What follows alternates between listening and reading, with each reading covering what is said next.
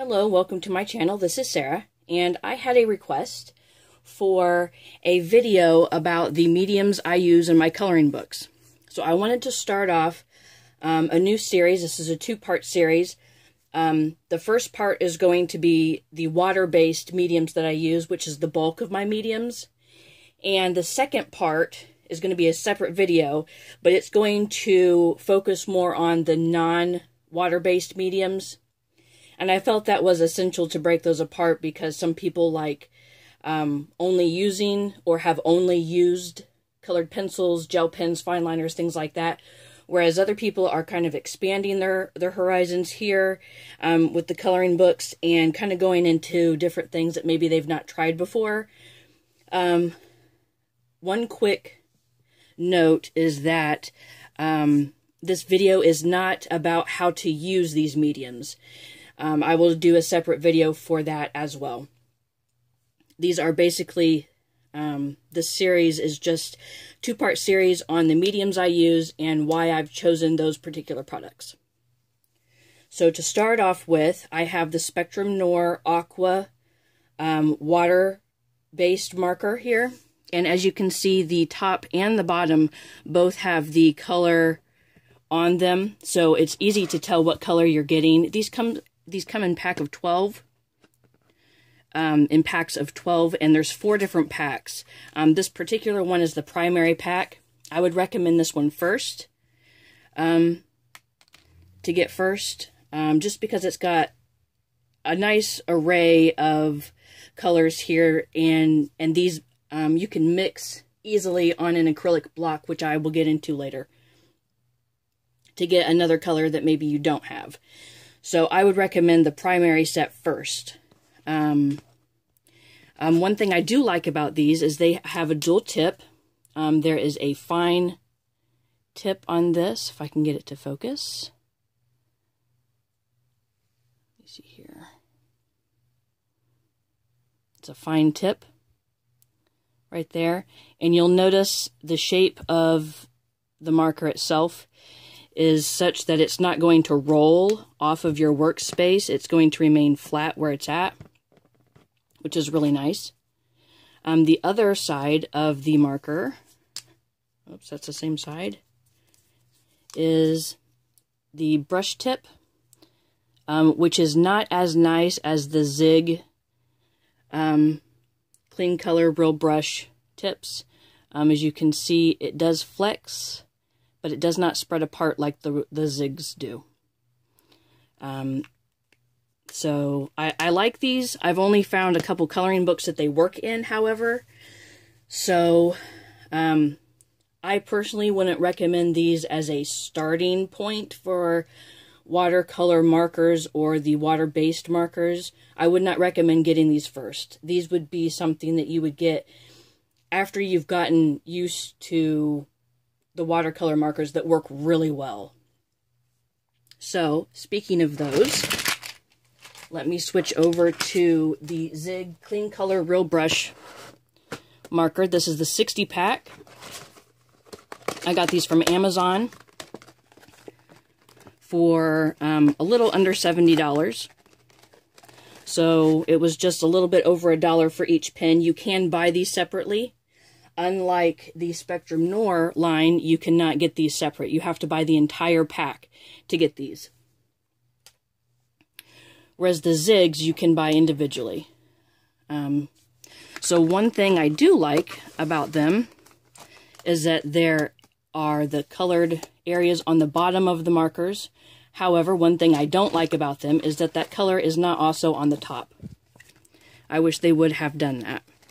I know the Frugal Crafter has a video on these particular markers and what she has done is taken each one each marker and colored in an area on a piece of paper, used a hole punch to punch those out, and then glued those to the tops. Since this is a flat top, um, this will be able to be glued on the top without any difficulty at all. I'm probably not going to take the time to do that, but that is a great idea. Um, so, about this set, I really like this set. Out of all the watercolor markers I have ever tried, these are the top of the line. Um, I would recommend these first before buying any other type of uh, water-based marker. Um, it comes with um, the number of each one and see if I can get that a little closer. Uh, the number of each marker and the color right here, so you can order these separately. And I'll let you see what else is on the pin here. They are made in Japan.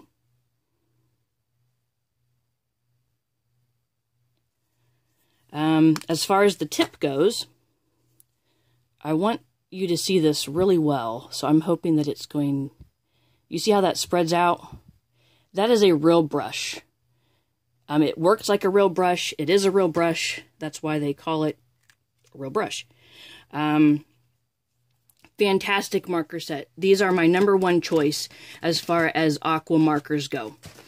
And I can tell you that they blend really well on an aqua, I'm sorry, on an acrylic block. And so if you don't have the color that you want, you can blend these colors together and create a new color. So you don't need the 60 pack. You don't need the 80 pack. Um, they come in, I believe, 6 pack, 12 pack, 24, 32, I think 40, 60, and the new packs that are out are 80 packs. There are only 80 colors. So um, I got these specifically because they were, um, believe it or not, cheaper than the 40, I think it's a 48 pack on Amazon um, as they were a returned product and they had them returned because there was damage to this outside case. There's not much damage to the outside case as far as I can tell, just this sticker on here, um, which does not bother me in the least bit. And these were, I believe, $68 for the entire set. That's a still. So I did get these from Amazon. So those are um, the only two watercolor markers that I have. Um, so they're the only ones that I use now. I have tried the Tombows and the Distress markers, and I'm, I'm just not real fond of those. Um, these, I have several different uh, slick stick kind of things. I think I've got three different kinds of products as far as these go. These are really fun, and these are gelatos. These are the Faber-Castell gelatos. Um, they work um, just like a tube of chapstick. Um, you take the top off. Um, you can crank it out from the end. You can use a paintbrush and get water on your brush and brush it on here. This does not have water on it, but brush it on here, and then you can use it as paint on your paper. I really like them for that reason. I think they're a fun product to use. They come in several different size packs. Um, packs of four are usually around $10. Um, sometimes you can find them for a lot more expensive um, on Amazon. So I recommend getting these products from either Michael's, Hobby Lobby, Joann Fabrics, someplace like that that you can use their 40, 50, 60% off coupon for these. I've got the metallic set here. Um, I've got several metallics. I've got, I believe, the orange, set. You can buy them in packs, four packs of specific color ranges, like the pack of greens came with these. Packs of orange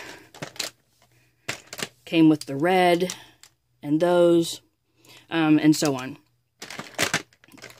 And I believe I have the um, regular starter set that I, I believe have 10 tubes in them.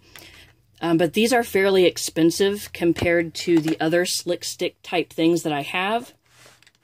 Um, so again, I would not recommend these for starting out. I would recommend the product that I'm about to talk about to start out with the slick sticks. I would recommend the Recollection Collection. Um, and this is a Michaels brand thing here. And these work very similar to the gelatos first off, they are a fraction of the cost. This whole set was like seven bucks.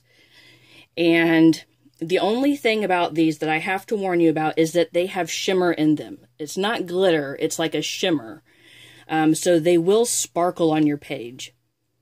Um, unfortunately, they don't have ones that don't have the shimmer to them. And these work just the same as the gelatos. Take the cap off, you twist it. One thing I do like about these, however, that the gelatos do not have is one, more product, and two, there's this really nifty little gripper right here um, on three sides, and it makes it very easy to hold and control that stick. Um, so these are the only colors that these come in. However, again, just like the other watercolor products that I'm going to show you, you can blend these on an acrylic block and create colors that you do not have in this set, which is always fun. And here comes my cat. I apologize about that. That is Willow, again, getting into her water. So these are the Michaels brand Slick Sticks, um, water-soluble pastels, if you will, um, Recollections collection. Next, I have my watercolor. I'm going to get my cat out of the way real quick. There. Because she was about to bump my camera. um, next is regular watercolor. Um, and what I have is the um, Koi Watercolor uh, Pocket Field Sketchbox set. I'm going to zoom in on this. I actually got this at a garage sale. I got these for a dollar at a garage sale. Um, they were not used when I got them, so that was a still and a half. When you open it up, it comes with a nice little tray here um, that pops right out. Like that. It comes with a aqua brush, and this does wind counterclockwise. Um, that took me a while to figure out. Um, so if you get this set, remember it goes counterclockwise for the aqua brush. And then it comes with uh, several different colors here. And then on the sides are these little sponges. And these are for when you have your marker, I'm sorry, your aqua brush in the field, wherever you're at. This is a great set to take on vacation, to the beach, wherever you're going. You can get this wet by squeezing the tube slightly and get your color you know, pick whatever one you want out. And if you get done using your color, you can push it again and the water will come through your brush and kind of clean it off and you're able to wipe that off on these sponges on here. So you'll be able to clean your brushes, um, which is just a fantastic feature for these little filled sets here. These are not the only watercolors I have, but these are the only watercolors I use in my coloring books. Um, there's not a specific reason why, um, just that they're compact, they're easy to travel with, and I really like the colors that come out of these. They're they're pretty nice colors for being a cheaper watercolor set. And I believe brand new, um, you can buy these from Amazon for around $25. Maybe a little less, maybe just a tad more, but it's it's around $25. So these are the watercolors that I use. The next couple things, well, actually, let me get to the other slick stick that I have. Um, type of slick stick, anyway. Let me zoom back out. And what these are, are the Caran d'Ache Neocolor 2s, water-soluble wax pastels. And here comes my cat again. I'm going to wait for her to go past so the light does not... it's okay, Willow. Um, so these are my Neocolor 2s, and I have the set of 30 here, and I will open these up for you to see. And these work much the same way as the other slick sticks that I have, the um, other gelatos and the Recollections collection, except for, excuse me, the color is not in a tube, so you don't have to twist it to make the color come out. Instead, these sharpen just like a crayon would, just like a pencil would in a pencil sharpener. Um, these are really, really nice product, and out of all of these slick stick kind of products that I have, these are definitely my top favorite. Um, the pigment is just out of this world, and um, it lays down very smooth. I have absolutely no problem using these things at all. Um, really nice set. And again, they come in smaller sets than the 30. I don't remember how much these were. Um, I did not buy these. They were a gift from somebody. Um, but I did look up the price, and they weren't overly expensive for what you get. The other sets of the Caran d'Ache that I have are their special edition sets of spring, fall, and summer. I did not get the winter special edition set because they have glitter in them, and I just I don't really use products that have a lot of glitter in it a whole lot, um, very seldom. So I just didn't think that they were um, something that I would get. So I didn't. And I got these three things on Etsy, and they are about $20 a pack for 10, um, which is a very decent price, um, price for, for what you get. So they're about $2 a stick. So those are the Caran d'Ache Neo Color 2s. A couple more products here. First, I will start with the Prismacolor Premier Water Soluble Colored Pencils. And this is the pack of 36. This is as large of a set as you can get with these. They come in a stack in here of three levels.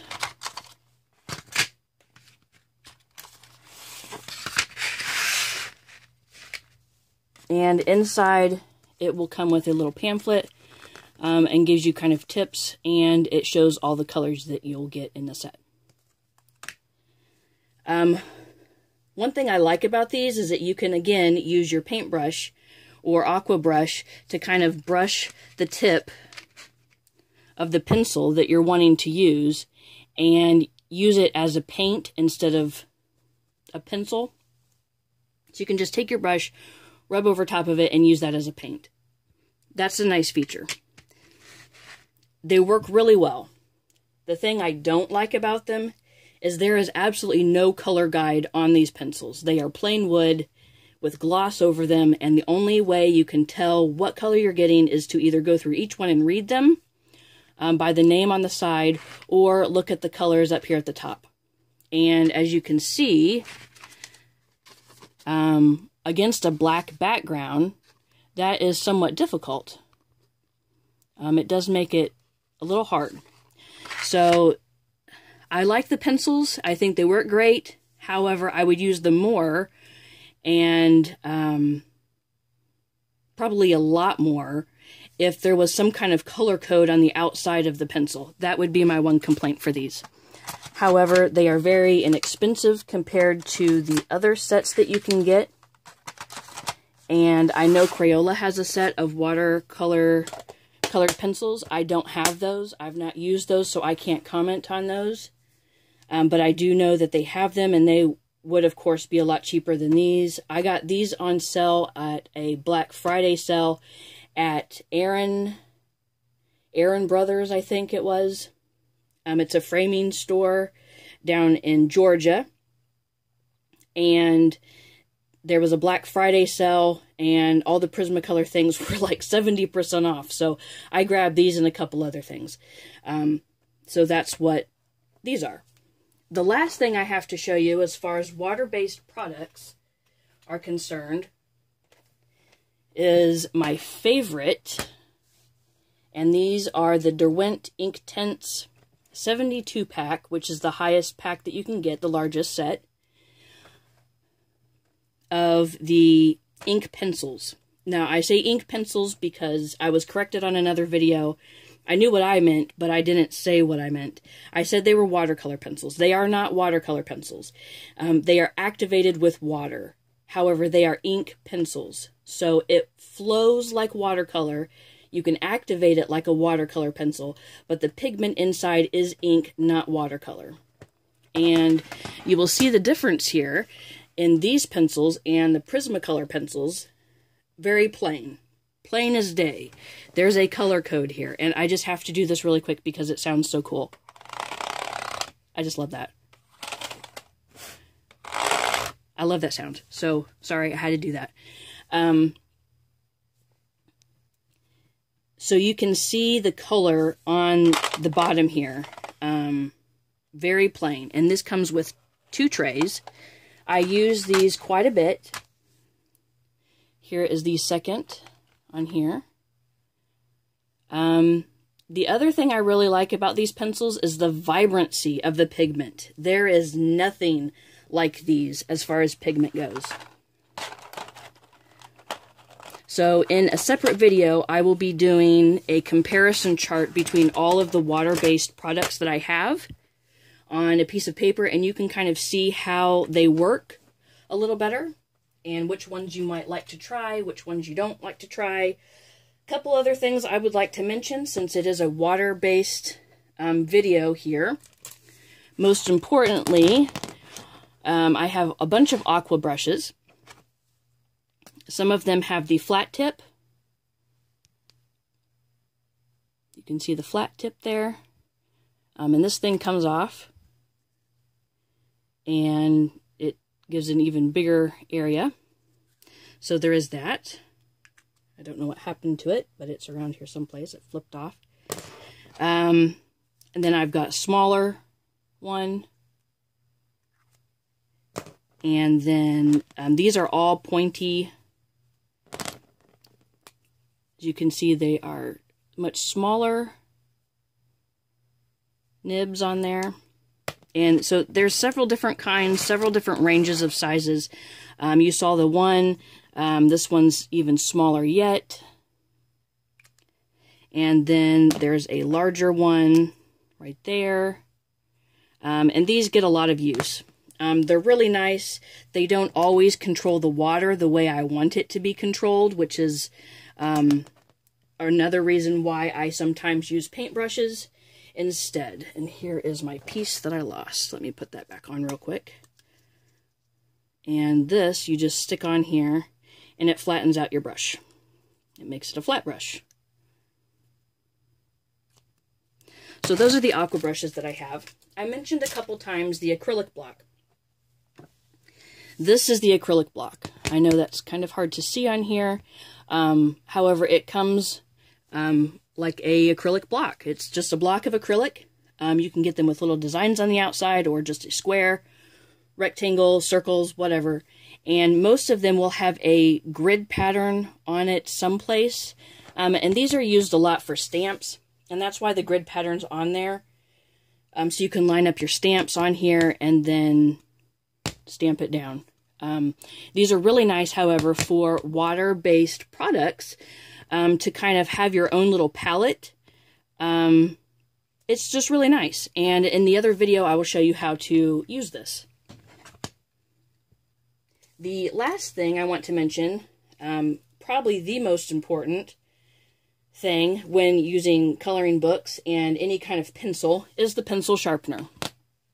I have two.